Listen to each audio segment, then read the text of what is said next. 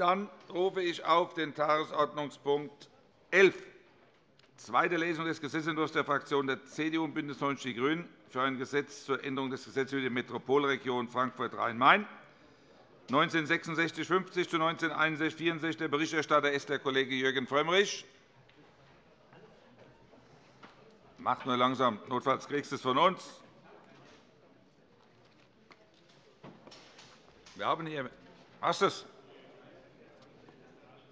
Ja, auf geht's. Vielen Dank, Herr Präsident. Beschlussempfehlung Der Innenausschuss empfiehlt dem Plenum mit den Stimmen von CDU und BÜNDNIS 90 die GRÜNEN bei Enthaltung von SPD, DIE LINKEN und der FDP den Gesetzentwurf unter Berücksichtigung des Änderungsantrags Drucksache 19 /6640 und damit in der in der Anlage ersichtlichen Fassung in zweiter Lesung anzunehmen. Vielen Dank, Herr Berichterstatter. Ich eröffne die Aussprache. Erster Redner ist der Kollege Kasseckert, Heiko Kasseckert, CDU-Fraktion.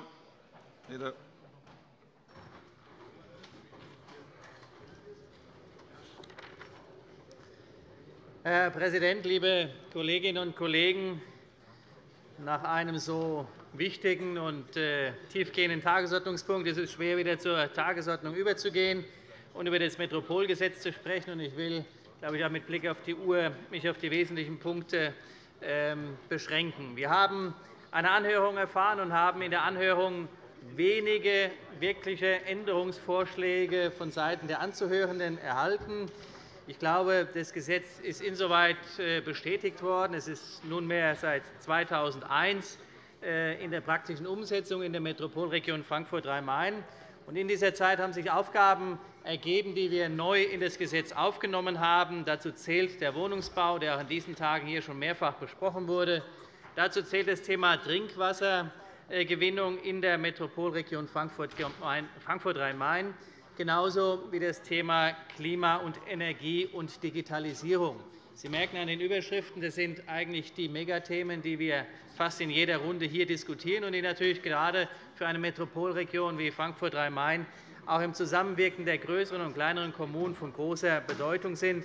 Von daher, und das hat sich ja in der Anhörung bestätigt, war es wichtig und richtig, diese Punkte als neue Aufgabe für die Akteure der Metropolregion aufzunehmen.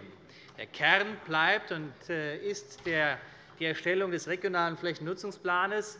Hier haben wir eine, wie ich meine, auch noch aus meiner alten Tätigkeit heraus sehr sinnvolle Regelung im Gesetz aufgenommen, nämlich dass das Land äh, die Kostenübernahme für die ohnehin vorhandenen Geodaten übernimmt. In der Vergangenheit musste der Regionalverband äh, in sechsstelliger Höhe diese beim Land vorhandenen Daten erwerben. Da haben wir zugunsten der Metropolregion eine Änderung vorgenommen, und es wird auch von dort begrüßt. Ich habe deshalb den Regionalen Flächennutzungsplan angesprochen, weil er als Kernaufgabe des Regionalverbandes im Metropolgesetz verankert ist. Eine der Anregungen, die in dem Zusammenhang kamen, war die Änderung des Maßstabs. Der Regionale Flächennutzungsplan ist derzeit in einer Maßstabsgröße von 1 zu 50.000 dargestellt. Das war ein Kompromiss, den wir seinerzeit mit dem Regierungspräsidium äh, gefunden haben. Ähm, man muss wissen, der eigentliche Maßstab für einen Flächennutzungsplan ist 1 zu 10.000. Das bedeutet, dass wir in einer Maßstabsgröße 1 zu 50.000 eine gröbere Darstellung haben, was dazu führt, dass in den einzelnen Verfahren und Gesprächen mit den Kommunen häufig dann Unklarheit darüber herrscht, was ist in dem Plan zu 1 zu 50.000 tatsächlich an Entwicklungsfläche, Wohnen, Gewerbe oder auch andere Nutzung, was ist davon tatsächlich umfasst. Die Anregung des Regionalverbandes haben wir aufgegriffen.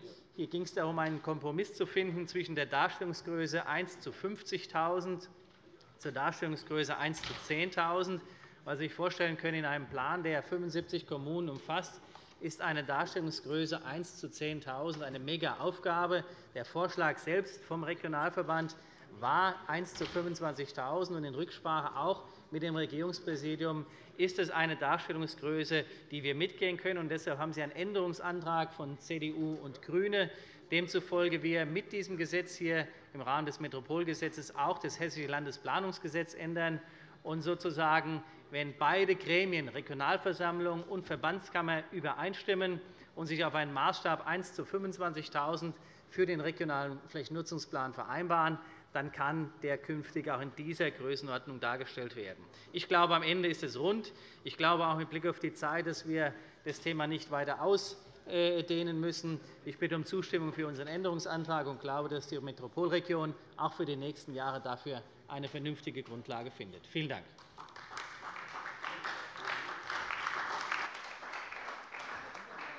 Vielen Dank, Kollege Kasseckert. Das Wort hat der Kollege Dr. Jörg Uwe Hahn, FDP-Fraktion.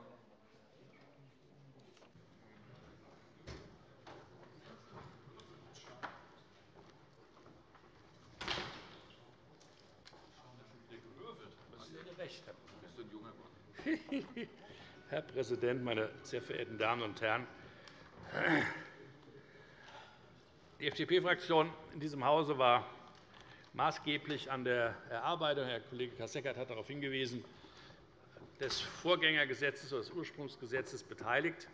Äh, deshalb können Sie uns, können Sie mir glauben, dass wir uns nicht mehr in jede Detailfrage hereinverlieren möchten. Vieles von dem, was 2011 gemacht worden ist, ist einfach gut. Aber verärgert sind wir darüber. Deshalb werden wir mit Nein stimmen, dass aber auch nicht einer von unseren Vorschlägen aufgenommen worden ist. Und die waren alle so einfach zu übernehmen. Ich unterstelle, dass Herr Kaufmann darauf noch einmal eingehen wird. Der erste Vorschlag war gewesen, dann nennen wir doch bitte den Regionalverband jetzt auch Metropolverband. Wir haben das Gesetz über die Metropolregion, aber den Regionalverband. Dann haben wir jetzt zu allem Überfluss für diejenigen, die sich etwas tiefer mit der Materie beschäftigen müssen, auch noch eine Regionalversammlung. Also, man hätte zur Abgrenzung, und das war ja einer unserer Vorschläge gewesen, diese Institution Metropolverband nennen können und nach unserer Auffassung auch nennen müssen. Zum Zweiten war unser Vorhalt gewesen, dass gezielter noch in dem Gesetz hereingeschrieben werden muss, dass Aufgabe des Metropolverbandes, der jetzt aber noch Regionalverband heißt, Infrastrukturprojekte vorantreiben auf der Tagesordnung steht. Wir haben entsprechende Ideen vorgelegt, wie Planung und Bau von wichtigen Infrastrukturprojekten sich nicht mehr über Jahrzehnte hinziehen, mit Beschleunigungsmaßnahmen zusammenlegen usw. So so fort. ist nicht übernommen worden. Wir haben zum Dritten, und das finden wir wirklich maßlos ärgerlich, weil es eine Debatte ist, die dieser Verband gerade selbst führt, auf Anregung der Fraktion der FDP und der Freien in den entsprechenden Gremien, dass der Verband auch die Zuständigkeit für Trassenfreihaltung bedeutsamer Verkehrswege erhalten soll. Oder um es noch einfacher zu beschreiben für diejenigen, die sich damit nicht jeden Tag beschäftigen, aber Kommunalpolitiker in diesem Gebiet sind, wir möchten, dass in absehbarer Zeit der Regionalverband einen entsprechenden Generalverkehrsplan für die Region auflegt. Natürlich in Abstimmung mit seinen Mitgliedern, geht ja gar nicht anders. Natürlich auch in Abstimmung mit der Landesentwicklung, geht ja gar nicht anders. Ist auch beides gut so.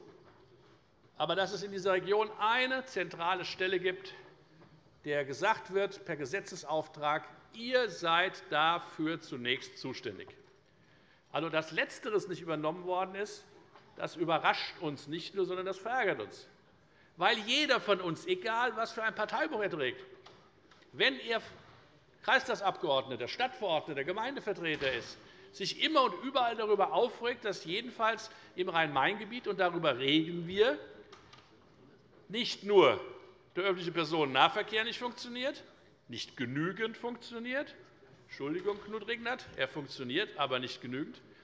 Und dass die Straßenbauprojekte auch nicht vorankommen, egal wer sie nun gerade angeschoben hat oder wieder lahmlegt. Das hätte in das Gesetz mit aufgenommen werden müssen. Diese drei zentralen Fragen sind aber nicht aufgenommen worden. Also stimmt die FDP mit Nein. Vielen herzlichen Dank.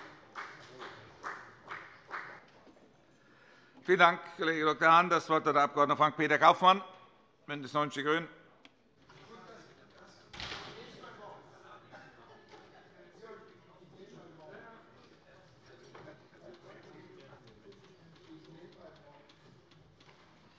Herr Präsident, meine sehr verehrten Damen und Herren! Ich bitte den verehrten Kollegen Hahn jetzt doch sehr um Entschuldigung, dass ich auf Ihren Ärger jetzt nicht vertieft eingehe. Schlicht und einfach die Uhr und der Status, den wir in dieser Gesetzesberatung erreicht haben, äh, lässt es nicht zu. Weil das müsste man schon sehr viel intensiver diskutieren, wenn man den Problemen, die Sie so versucht haben, durch Verärgerung gewissermaßen auch ein Stück zu verstecken, wenn man denen wirklich gerecht werden wollte. Mein Beitrag sollte eigentlich sehr kurz sein. Er kann noch ein bisschen kürzer sein, dadurch, dass der Kollege Kasseckert im Prinzip schon alles gesagt hat, was inhaltlich zu sagen ist. Wir haben, und das war uns wichtig, diese Änderung in der Maßstabsfrage die hat ja auch breite Unterstützung gefunden. Da hat ja keiner dagegen gestimmt im Ausschuss. Diese Änderung der Maßstabsfrage ist deshalb jetzt gerade am richtigen Zeitpunkt, weil im Bereich Südhessen sowohl die Regionalversammlung für den Gesamtsektor als auch der Regionalverband für den Regionalen Flächennutzungsplan jetzt mit der Aufstellungsarbeit für die nächste Auflage sozusagen beginnt und deshalb an diesem Zeitpunkt dann die Maßstabsfrage sinnvollerweise auch geklärt wird. Wir geben durch diese Ergänzung des Gesetzes die Möglichkeit, den Gremien, wenn sie sich übereinstimmend darauf verständigen, das in dem deutlich besseren und schon immer geforderten Maßstab 1 zu 25.000 für den Regionalen Flächennutzungsplan einzulassen.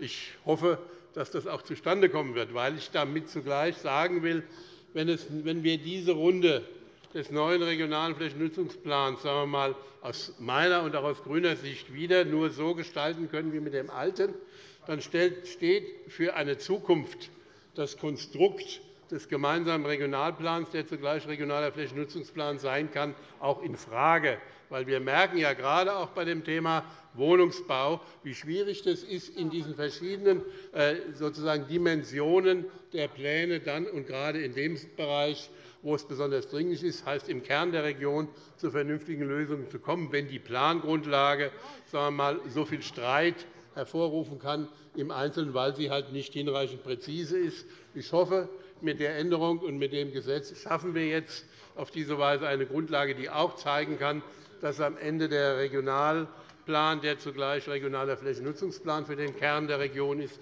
dass der sich dann bewährt. Das werden wir sehen. Das wird die nächsten Jahre zeigen. Und dann werden wir das erneut evaluieren zu gegebener Zeit. Vielen Dank für heute.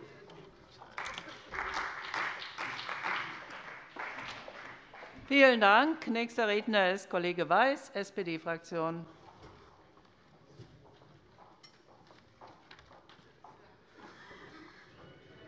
Frau Präsidentin, liebe Kolleginnen und Kollegen! Wir haben ähm, zu dem Metropolregionengesetz der Landesregierung bzw. der sie tragenden Fraktionen eine Anhörung hier gehabt, sogar hier in diesem Raum, die ich ziemlich unemotional fand, ähm, was jetzt eigentlich auch kein Wunder ist, weil äh, wenn nicht viel drinsteht im Gesetz, dann kann man halt auch nicht zu so vielen Dingen Stellung nehmen. Es ist daher von den Anzuhörenden auch hauptsächlich über Sachen geredet worden, die eigentlich gar nicht im Gesetz stehen. Der Regionalverband wollte gerne umfirmieren, wollte über seinen neuen Namen sprechen. Die FRM GmbH hat fehlende finanzielle Beteiligung des Landes beklagt. Es war ein interessantes Ergebnis der Anhörung, dass es andere Bundesländer gibt, die mit eigenem Landesgeld ihre Metropolregionen fördern und unterstützen. Dass das in Hessen nicht so ist, äh, war ein interessantes Ergebnis der Anhörung. Das IHK-Forum Rhein-Main ähm, hat geredet über das Strategieforum das der äh, Präsident der Frankfurter IHK äh, ins Leben gerufen hat. Das steht aber auch gar nicht im eigentlichen Gesetzestext, sondern ist nur peripher in der Begründung erwähnt. Ähm, dazu passt, dass über so vieles geredet wurde, was gar nicht im Gesetz steht, dass die Landesregierung jetzt hier einen Änderungsantrag einbringt, der auch gar nicht das eigentliche Gesetz betrifft, das Metropolregionengesetz, sondern mit Ihrem Änderungsantrag ändern Sie das Landesplanungsgesetz. Das zeigt, äh, liebe Kolleginnen und Kollegen, dass dieses Gesetz kein großer Wurf ist. Es ist äh, der kleinste gemeinsame Nenner, wie wir das so häufig bei schwarz-grünen Initiativen erleben. Es schadet nicht, es bringt aber die Region auch nicht wirklich voran. Deswegen werden wir uns nachher bei der Abstimmung enthalten. Einzig allein der neu gegründete Initiativkreis Rhein-Main hat hier in der Anhörung und auch in seiner schriftlichen Stellungnahme die großen und entscheidenden Fragen angesprochen, die die Metropolregion betreffen. Wie sieht es aus mit der regionalen Verfasstheit? Ist das im Moment ein Rahmen, der angemessen ist, ähm, der händelbar ist, oder äh, müssten wir da vielleicht über Änderungen reden? Wie sieht es aus mit der Organisation, den Aufgaben, der Kompetenz des Verbandes? Wie sieht es aus mit der demokratischen Repräsentanz der Entscheidungsgremien des Verbandes? Alles das sind Punkte, zu denen Schwarz-Grün offensichtlich nicht die Kraft hatte, sich dazu zu bekennen oder darüber wirklich reden zu wollen. Das hat man hier dem Initiativkreis überlassen. In dem Gesetz findet sich nichts davon wieder. Das finde ich ein bisschen dürftig. Ähm, wir haben allerdings jetzt sage und schreibe elfeinhalb Jahre Zeit, darüber zu reden, ob das Gesetz denn so gut ist oder nicht. Denn so lange soll tatsächlich dieses Gesetz verlängert werden. Da wir in dieser Legislaturperiode von dieser Landesregierung dazu keine großen Schritte mehr erwarten, wäre es eine Anregung an dieser Stelle und ein Hinweis an die nächste Landesregierung, ob es nicht, und an den nächsten Landtag, ob es nicht überlegenswert wäre, zu dem Thema Zukunft der Metropolregion Rhein-Main. Und genau diese großen Fragen, die hier angesprochen sind, beispielsweise eine Enquetekommission einzurichten, wo man über eine längere Zeit mit vielen Sachverständigen die Möglichkeit hat, sich auch einmal andere Metropolenregionen anzuschauen, wie die aufgestellt sind, wie die gefördert werden und wie wir da im Wettbewerb stehen und ob wir eventuell Änderungen vornehmen müssen. Ähm, ich glaube, dass eine Enquete hier eine Möglichkeit wäre, da etwas Gutes zu erreichen für die Region. Da, meines Erachtens sollte sich der nächste Landtag darüber einmal Gedanken machen. – Herzlichen Dank.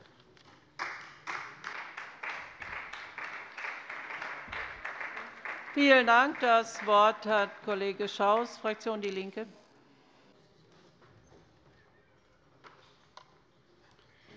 Frau Präsidentin, meine sehr geehrten Damen und Herren! Ähm, mit dem Metropolregionsgesetz ähm, ist es so, das wird heute sozusagen am Ende äh, der Debatte äh, mehr oder weniger an den Rand gedrängt. Und die Diskussion, äh, die eigentlich notwendig wäre, ähm, eine Perspektive, sozusagen mit einer Perspektive in die Region zu gehen, die wird schon seit Langem sozusagen aus unterschiedlichsten Gründen an den Rand gedrängt. Ich finde, die Vorschläge die der Initiativkreis Metropolregion Frankfurt-Rhein-Main gemacht hat, äh, wichtig und gut. Äh, sie sind im Übrigen auch sehr detailliert und überlegenswert. Äh, aber von diesen Vorschlägen und von diesen Vorstellungen oder sozusagen ein Stück Perspektive ähm, auf diese Metropolregion zu werfen, ähm, lese ich im Gesetzentwurf nichts. Im Kern ist es sozusagen das Abarbeiten eines auslaufenden Gesetzes. Wir schieben es mal sozusagen auf die lange Bank. Kollege Weiß hat ja schon darauf hingewiesen, ähm, äh, weil wir alle irgendwie Probleme damit haben. Dabei sind doch die brennenden Probleme die, dass über die Frage der Flächennutzungsplanung hinaus, da ist Wohnen angesprochen worden, der öffentlichen Personennahverkehr, Aufgaben zu bewältigen sind in dieser Region insgesamt, äh, die die einzelnen Kommunen ja so gar nicht mehr leisten kann. Und es müsste auch unser Interesse sein, selbst wenn es zu einer ich sage es jetzt mal platt, Machtverschiebung führen würde. Das scheint mir eher das Hauptproblem zu sein seit Jahren, diese Angst davor, äh, dass man hier sozusagen andere Kompetenzen schafft im Interesse der Bürger und äh, dass man in den entscheidenden Fragen weiterkommt. Ich finde es bedauerlich, wie mit dieser Debatte umgegangen wird. Ja? Ähm, und äh, ich glaube, dass sich das irgendwann auch rächen wird. So, was ist die Metropolregion Rhein-Main im Übrigen? Sind das die 75 Kommunen, die jetzt einbezogen sind? Oder ist der Zuschnitt sozusagen dieser Region äh, auch zu überdenken? Warum ist Wiesbaden nicht dabei? Ja? Äh, wie ist das Verhältnis sozusagen zu Südhessen? Das sind alles Fragen, die wichtig sind.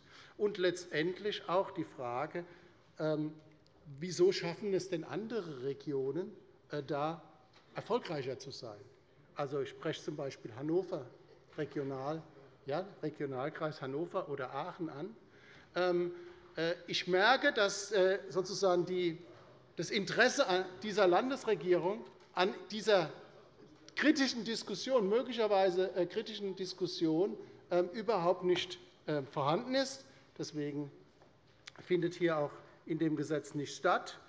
Ich finde auch, es ist wert, genau an dieser Stelle äh, unter anderem auch darüber zu diskutieren, dass man äh, für eine Metropolregion auch ein gewähltes Parlament haben muss mit Kompetenzen und nicht Vertreter von Vertretungsorganen, weil die letztendlich ja wiederum ganz andere Interessen vertreten als die, die unmittelbar gewählt sind. Ich knüpfe da durchaus an den Erfahrungen des Umlandverbandes an. Und dann muss man sowohl die positiven als auch die negativen Erfahrungen, äh, die seinerzeit auch zur Auflösung des Umlandverbandes geführt haben, äh, hier mit zu berücksichtigen. Aber mehr Demokratie, mehr direkte Demokratie in der Region täte neben auch einer Diskussion, was ist sinnvoll, wie und wo zu regeln, ähm, täte dieser äh, Region Rhein-Main auch gut und würde sie nach vorne bringen. Das lese ich alles nicht in diesem Gesetzentwurf. Gar nichts davon lese ich. Es ist sozusagen ein,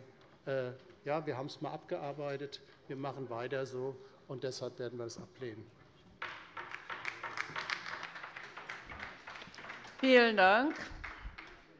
Wünscht die Landesregierung das Wort?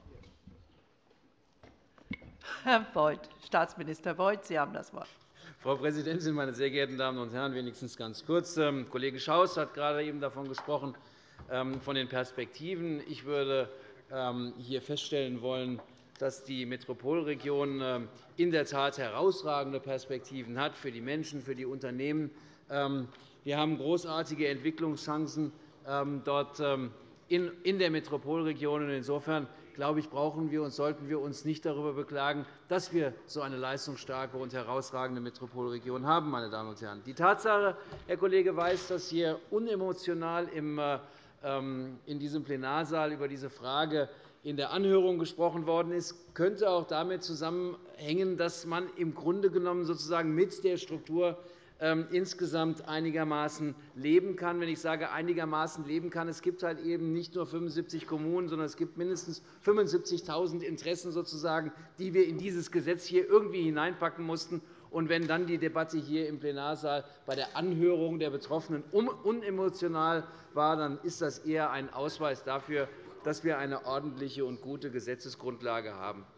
Meine Damen und Herren, der Gebietszuschnitt, Kollege Schaus, ähm, ist im Grunde genommen ja nicht mehr angesprochen worden. Die Frage, ähm, die Frage der Direktwahl ist ein Streit, der äh, ebenfalls nicht mehr aufgenommen worden ist, spätestens seitdem äh, ähm, die Kollegen in Niedersachsen in der vergangenen oder vorvergangenen Woche ein Gesetz in den äh, dortigen Landtag eingebracht haben, die Direktwahl in Braunschweig wieder abzuschaffen für den Regionalverband, scheint mir diese Debatte auch erledigt zu sein.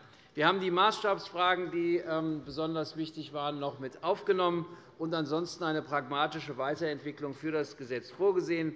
Wir haben die Bereiche Wohnungsbau, Wohnbauflächen, Energie- und Klimaschutz, Digitalisierung sowie Beschaffung von Trinkwasser und Trink- und Brauchwasser ähm, haben wir in ähm, die Zielsetzung des Gesetzes mit aufgenommen. Ich glaube, eine gute und ordentliche Weiterentwicklung, der wir nunmehr auch gemeinsam zustimmen können. Vielen Dank.